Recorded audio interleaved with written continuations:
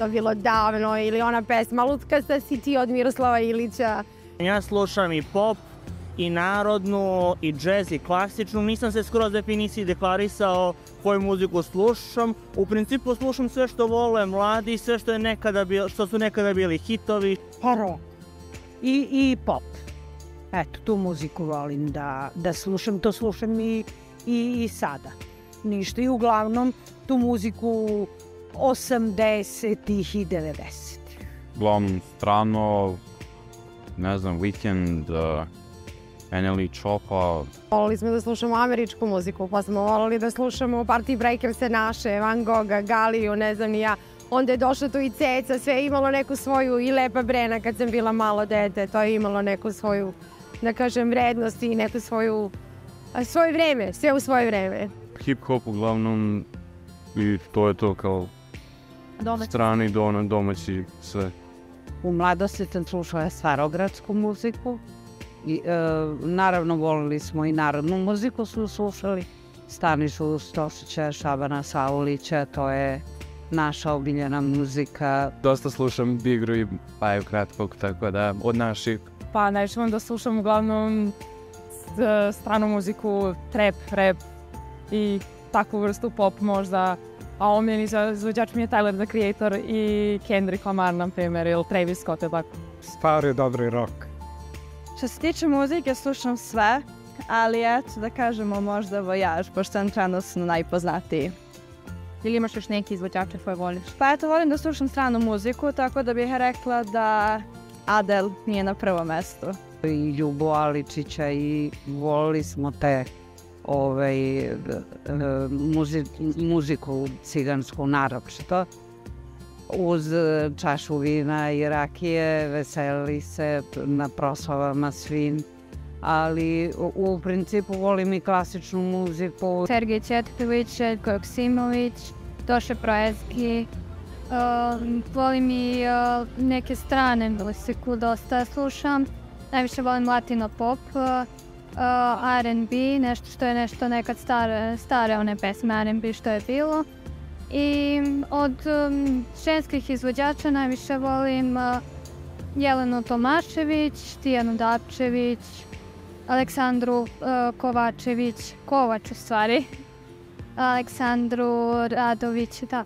Najviše sam vol- volao Kemala Montene. Domaću muziku, pa slušam kada odem na žurku i to je, mislim, to je uglavnom to se sluša i onda ne, baš ne mogu da ga izbegnem i onda tad ga slušam, tad slušam našu muziku. Ne znam šta se konkretno pušta, Crni Cerak, Tanja Savić, ne znam, Nući, Vojaž. To nije tvoj ukus. Pa ne bi ga slušala u slovno vreme, ali kad sam na žurci ga slušam. Čini mi se neprevaziđena ABBA. Mm, šta sad na brzinu ovaj, da, da, da. Od domaćih normalno, Balašević, normalno, Bora Čorba, normalno. A sada, što slušate sada, isto to? Pa u principu da. Uglavnom pop muziku. Recimo Aleksandra Radović, Sergej Četković, tako nešto. Moju mladost je od domaćih izvođača obeležilo bijelo dugme. Uh, Zdravko Čolić, eto, to su indeksi, to je od naše muzike. Počeo sam sa Red Hot Chili Peppers, sa Linkin Parkom, Gorillaz, a sada je to otišlo više u jazz smeru. Trenutno Vojaž, Devito, Cobi, volim i narodnjake, Cecu i tako. Uglavnom, posljednje vreme japanski jazz slušam dosta. Zana disciplina kičme, električni orgazam i izdvojio bi grupu SARS.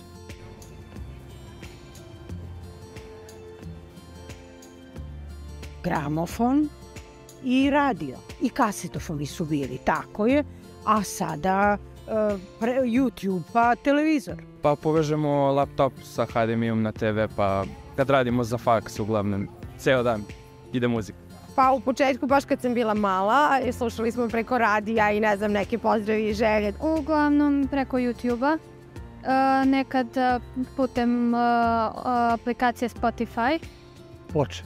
E, Imam Spotify i onda preko telefona uglavnom, a inače možda preko laptopa ili televizora zavisi. Ako je kućna žurka neka pa se pušta preko toga. Deezer. Smo slušali ili preko Walkmana ili preko, ajde, to su bili kasetofoni, kasete, dobri Philipsovi kasetofoni. Kupljeni na ekskurziju u Nemačku. Gimnazijskoj ekskurziji. Spotify. Uh, YouTube zato što nemam Spotify, ali da imam Spotify, Spotify bi bio. Pa danas tu je još neki stari radio. Sin me obradovao kad je kupio a, magnet, izvinite, gramofon. Tako da, trudimo se da, da, da čujemo stare dobre zvukove.